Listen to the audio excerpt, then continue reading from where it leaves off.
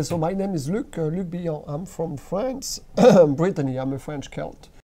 Uh, so my art is um, mainly figurative, but I do all kind of things. I do vase, I do uh, abstract, I do a lot of figurative work. I do a lot of life-size portraiture. So this is one of them. This is Gay Boston. That's the one that threw me into this building. And uh, I like little tweaks, and uh, I use a lot mistakes. Uh, as you know, clay breaks, and inside you might see there's a little lady dancing inside.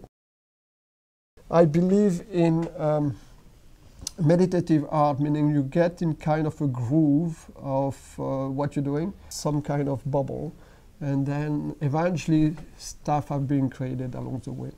Well, they say I'm the hub of art the Danforth. So when people walked uh, uh, wanting, uh, wanting to see art the Danforth and kind of give us a visit, they will start here. Uh, so from here on, they will kind of follow the path. For the whole weekend, uh, we'll have artists doing uh, all kind of things here.